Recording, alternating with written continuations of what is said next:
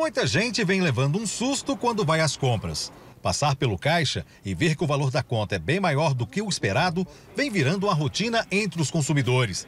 E olha que todo mundo vem usando algumas artimanhas, como pesquisar os preços, eliminar os itens supérfluos da lista, escolher marcas mais baratas para garantir as compras para o mês inteiro. Mas o feijão é o vilão entre os produtos que não podem faltar. E a cada semana uma surpresa, um preço diferente que o consumidor não consegue entender. A gente tem que procurar bastante aí, porque está dando a diferença, às vezes, até de uns 15, 20% de um lugar para outro, né? Entre as três marcas mais vendidas, o preço do feijão carioca é encontrado para o consumidor final entre R$ 8,45 e R$ 9,45 o quilo. Já o feijão preto também vem surpreendendo e gira em torno de R$ 7,95 e R$ 9,95. O reajuste nas últimas semanas foi de quase 60%. Vou em vários supermercados e pesquisando, porque realmente aumentou. Nós estamos aí na expectativa que o feijão venha até ter uma queda, mas vai depender muito de, de situação mesmo é, de produção. A explicação para tudo isso está no campo. A safra do feijão já esteve em dias melhores. Do plantio até a colheita são aproximadamente 90 dias, bem mais rápido do que outras culturas. Mas muitos fatores vêm contribuindo para que o preço final do feijão chegasse a esse ponto. Entre elas estão as condições climáticas que não ajudaram o produtor. Choveu mais do que o esperado, o que prejudicou bastante o desenvolvimento do grão.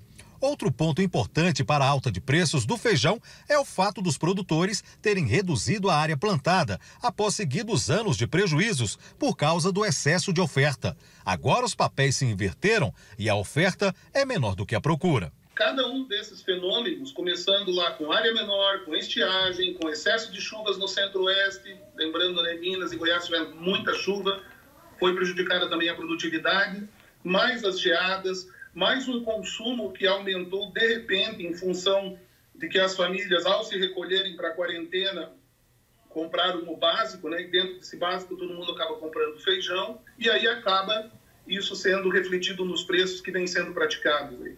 Em duas semanas, o preço da saca de 60 quilos teve um reajuste de quase 100%. Passou de 280 para 350 reais. E agora já se fala em 600 reais a saca. Os consumidores do feijão carioca, o grão mais presente no prato dos brasileiros, estão assustados com a disparada dos preços do produto. Mas qual o melhor substituto para o feijão nestes tempos de crise?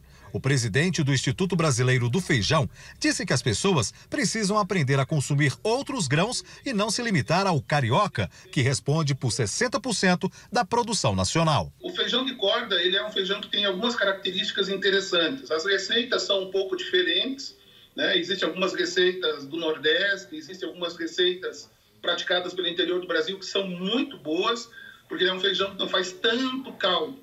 Agora, do ponto de vista que nos interessa, quando nós temos um momento é, desafiador como esse à frente, que é a questão nutricional, nutricionalmente o feijão de corda, inclusive em alguns aspectos, é superior ao feijão preto e ao feijão é, carioca. Então, nós temos a, a tranquilidade de dar essa opção para o consumidor é, de que não vai faltar feijão. Pode ser que tenha uma diminuição da oferta do feijão carioca, mas feijão o brasileiro vai continuar tendo na sua mesa durante esse período. A quebra da safra dos produtores do Paraná também contribuiu para a alta dos preços. O prejuízo chegou a 70%.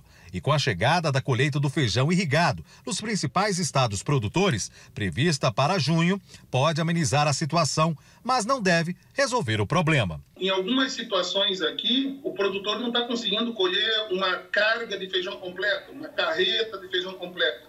Então depende do comprador na região comprar de dois, três, quatro produtores para daí sim consolidar uma carga e poder embarcar. Então, a situação é bastante complicada, bastante desafiadora.